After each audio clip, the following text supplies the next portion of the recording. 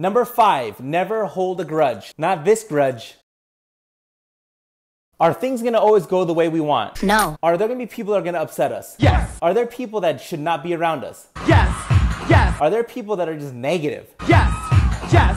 Yes. And is that okay? The answer is No. Yes. never hold a grudge because at the end of the day, In the middle of the night. it's not gonna do you anything, it's not gonna do with them anything. Just let it be. I'm not asking you to sing kumbaya with them. Kumbaya, I'm not asking you to be best friends with them.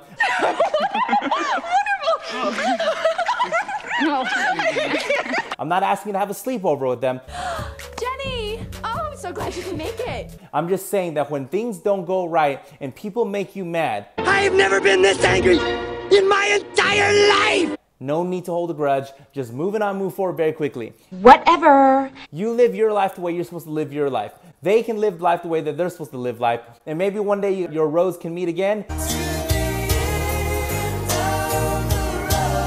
Maybe one day you guys can be friends again.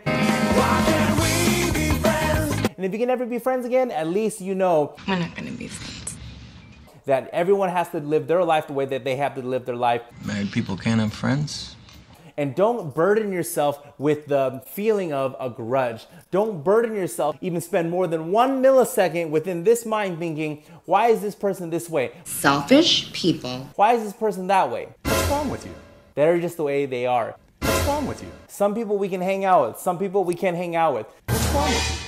Some people are gonna always be the way they are, And I am whatever you say I am. and we're not gonna be able to change that about them. I see no changes. Some people, they just believe that life should be living this way. Just live your life.